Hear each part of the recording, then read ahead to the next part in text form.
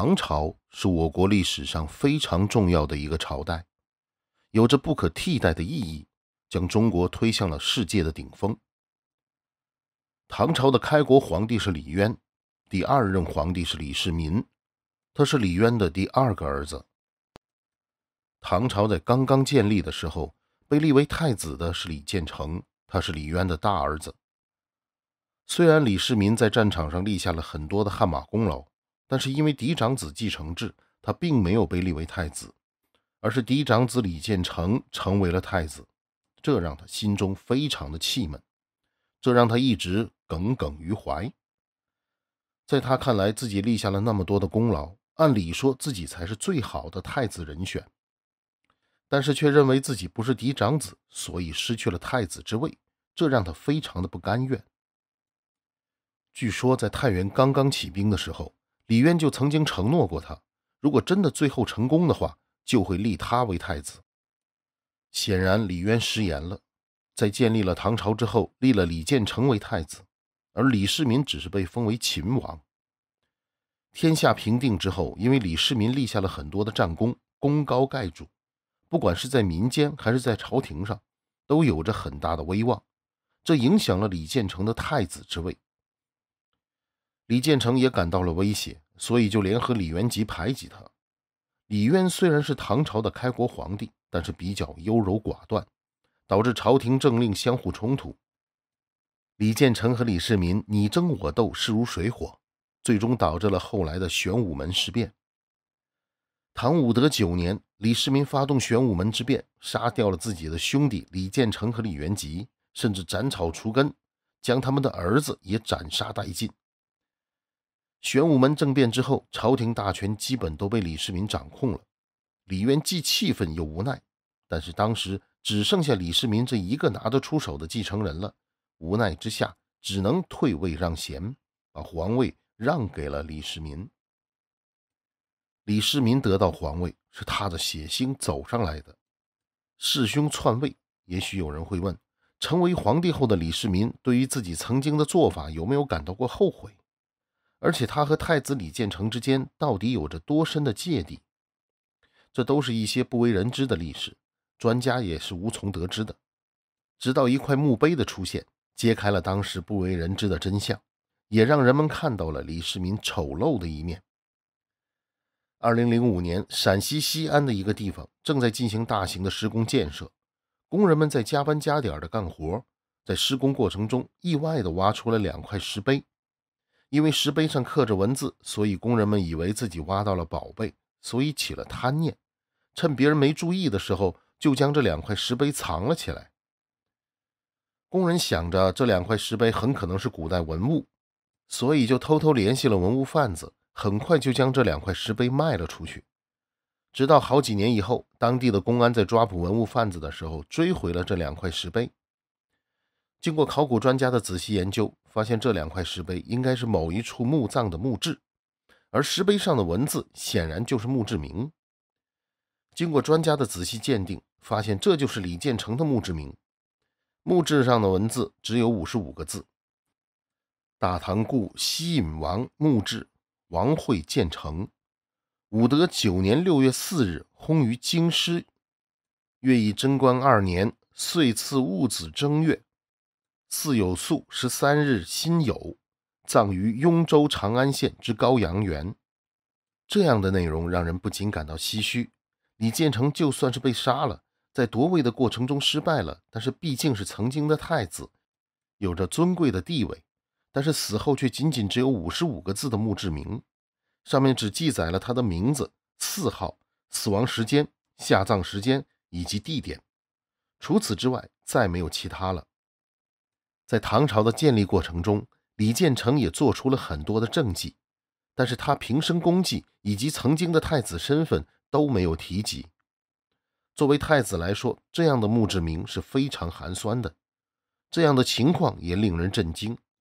更让人意外的是，墓碑上把李建成称为大唐西王，谥号隐。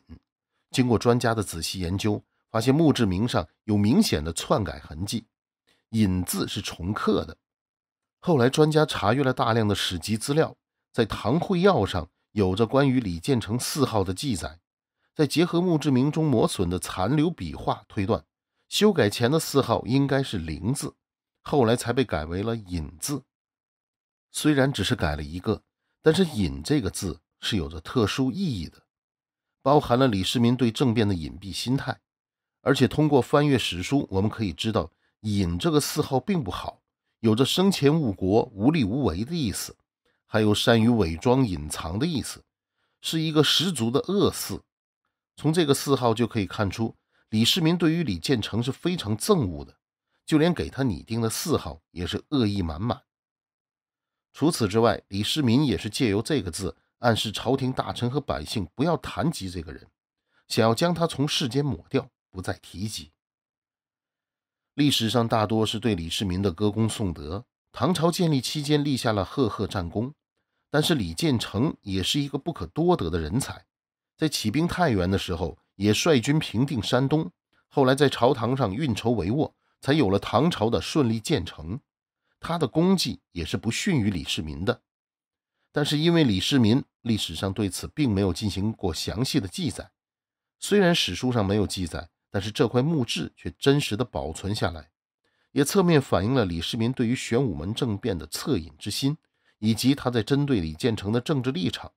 他试图用“隐”这个字否定李建成的政绩，也因此看出了他丑陋的一面。李世民当上皇帝是通过发动政变，而李建成才是被认定的皇位继承人。显然，在整个事件中，李建成才是被算计的人。但是，胜者为王，败者寇。史书是由胜利者书写的，所以史书上对李建成的记载并不是很多。接下来的内容更精彩。安徽考古队挖出廉颇墓，发现一巨大石条，揭开盗墓贼不敢挖的真相。战国四大名将分别是白起、廉颇、李牧、王翦。下面我们要说的就是其中之一的廉颇。提起廉颇，我们还是很熟悉的，比如廉颇和蔺相如的故事，廉颇负荆请罪。廉颇的一生真的是无比光耀的，征战无数，而且从没有尝过败绩，堪称是战国时期的鼎鼎大名的大将。廉颇这么厉害，是不是也曾经拜过名师学习呢？这个在历史书上倒是没有这样的记载。廉颇是靠着自己一步步走过来的将领。后来的廉颇经历过赵武灵王变法，让赵国一跃成为强大的军事国家。而廉颇正式被重用，还是在赵惠文王时期。廉颇曾多次立下了赫赫战功，打败过齐国、秦国等。真的，当时秦国遇到廉颇，等于就是遇到了克星。只要廉颇在，秦军似乎就无法取胜。但是后来我们知道。后来廉颇被撤职了，原因是因为秦国利用了反间计，后来换掉廉颇，而启用纸上谈兵的赵括，最后在长平之战中被狠揍了一顿。虽然最后廉颇重新被启用，但是新上台的赵卓襄王并不对廉颇感冒，为此廉颇投奔到了魏国。但是到了魏国的廉颇也不受到重用，毕竟自己之前那是魏国的敌人。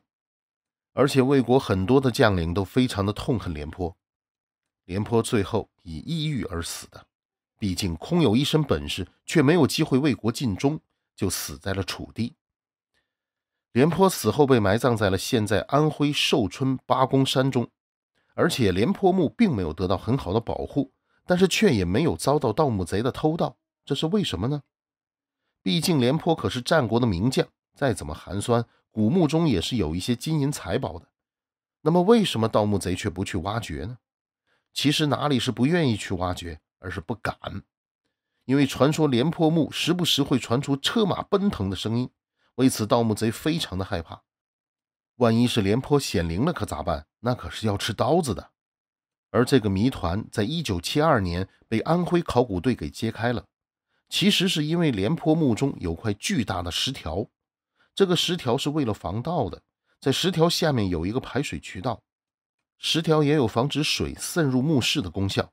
这也就是为什么在下雨天的时候，廉颇墓会出现车马奔腾的声音了，其实就是水流的声音。好了，以上是本期的内容。如果您喜欢我们的节目，欢迎订阅、点赞、转发，感谢大家的支持。